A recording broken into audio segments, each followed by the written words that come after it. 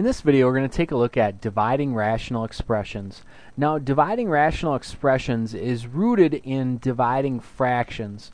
So if we can remember the rules for dividing fractions, also working with uh, variables with exponents like this and simplifying stuff like that, as well as factoring when we have a trinomial, then we can be in great shape with these rational expressions and division. So let's take a look at this first one right here.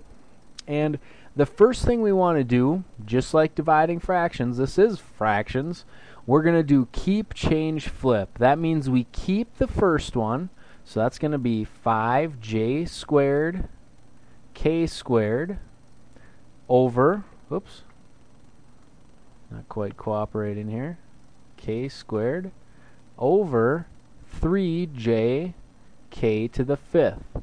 Then I'm going to change the multiplication to division.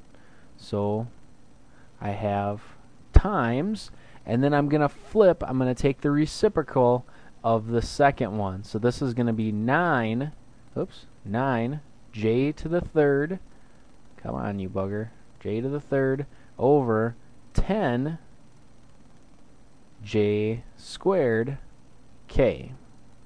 Alright. So, now it just becomes multiplying rational expressions. And remember, to multiply fractions, we just go ahead and we multiply straight across on the top and the bottom. Now, I'm going to switch colors just so we can kind of try and keep some of this stuff straight here. Remember that we can simplify before we multiply across, or we can simplify after, or we could do a combination of those two things. I see some things that can definitely cancel out, so I want to take care of those. I have a 3 and a 9, so this is going to cancel to become a 1. If I divide both those by 3, that'll become a 3. Then I've got this 5 and 10, that's going to be a 1. And then down here, I've got a 2. Okay? So, then, let's see. I've got some variable stuff. There's a j squared here and a j squared here. Those can cancel out and those are just ones. So we got rid of that.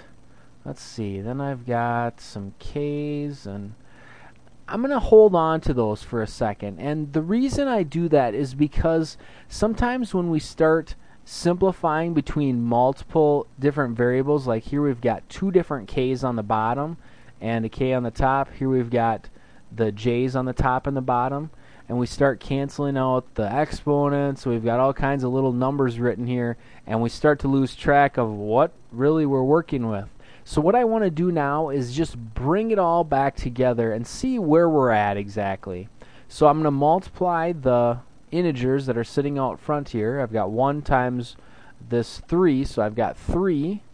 Then the variables, well, we've got a j to the third and a k squared left on top. So j to the third and k squared. Then on the bottom, I have, well, let's see, we've got a 2 there, so let's bring that along. And then we've got a j, it's the only j that I see left. And then we've got k to the fifth times k. Well, that's going to be k to the sixth. Remember, when we're multiplying, we add the exponents. So then we've got that. Okay, now I can see that I've got J's on the top and bottom and K's on the top and bottom. I want those to clean that up a little bit. We need to cancel some stuff out. So what I want to do at this point is just simplify those things. So the 3 and the 2, well, that's just going to stay as it is. 3 over 2. Can't simplify that any further. I have 3 j's being multiplied on top, j to the third divided by j, well that's going to leave me with two j's on top that are multiplied, so j squared, then k squared over k to the sixth. Well there's six k's on the bottom being multiplied, two on top, I can cancel two of those out to get k to the fourth. Okay, then I take a look, anything else I can simplify? Nope, that's it. So I'm all set there. Alright, then let's go on to this bottom one, see what we can do here. Again, first step, keep, change, flip. Keep the first fraction, so we have x plus 10. Then change the division to multiplication. Now, huh, that doesn't look like a fraction. How can I make it a fraction? Well, put it over 1. So if I do that, I can certainly flip that, and that's going to be 1 over x squared minus 100. Now, in order to save steps here, let's think about that for a second. What is x squared minus 100? That's a difference of squares. And remember, a difference of squares is going to factor into this one will be x plus 10 and x minus 10. And remember, if you don't believe me, you can always FOIL that back and find that you end up there. Okay, then we take a look. Is there anything on the top and bottom? Well, sure. We've got an x plus 10 here and an x plus 10 there. Let's cancel those out. Anything else? Nope, doesn't appear so. So then we multiply straight across. And again, remember when these cancel out, we can throw a 1 there if you'd like. Multiply straight across and end up with 1 over. We have an x squared times x minus 10. Well, I could leave it like this. Or we can distribute that x squared through there. Oh, my tablet is really not cooperating with me tonight. Holy cow. It's kind of a grumpy little Gus here. Alright, then I can leave this like this, or I could distribute that x squared through. I'm going to go ahead and do that. So I have 1 over x squared times x is x to the third, and then x squared times negative 10 is 10 minus 10 x squared. Okay? Anything further I can do there? Nope. So there it is. Alright, then let's take a look at this last one up on top here. Again, start by doing keep change flip. We keep the first one, so x squared over x minus 3.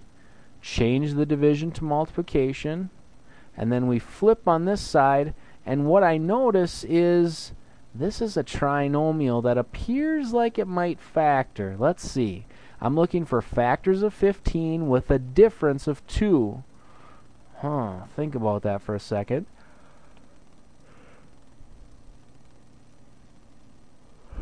You think of some factors of 15 with a difference of 2?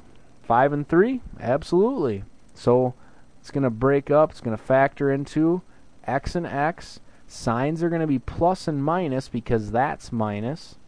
Then those factors, 5 and 3, that get us a positive 2. So I need the larger factor to go with the sign I want to end up with. And remember, that comes from the middle terms. If we FOIL that, let me make a decent 5 there.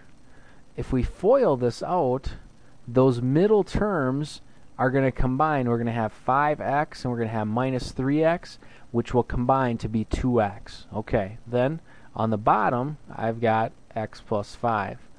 All right, now let's take a look what we share on the top and bottom. Well, quite a few things actually. We've got an x plus 5 there and an x plus 5 there. Those are going to cancel out. X minus 3 and x minus 3, those are gone. Again, remember these could all be 1s. Sometimes I don't write those just to eliminate the, some markings as we try and make sense of all these things. Then x squared, uh, nothing left on the bottom, so that is what it is. So it's just equal to x squared. Oops, x squared. There we are. Okay, so dividing rational expressions rooted in dividing fractions. And remember to divide fractions, we do keep, change, and flip. So we kept the first term, changed the division to multiplication, and flipped the second term. From there, we can simplify either before, after, or a combination thereof, and then multiplying across those fractions. Remember, we just multiply straight across top and bottom, simplify what we can, and there we've got it. What you're going to find a lot of times is when things factor, like here we had this factor and some of the stuff canceled out, you're going to find that quite often. So be sure you've got your factoring skills uh, shined up and dusted off and ready to roll, and you'll be in great shape with these. Hope this video was helpful. Keep working hard. You can do anything you put your mind to. I know it.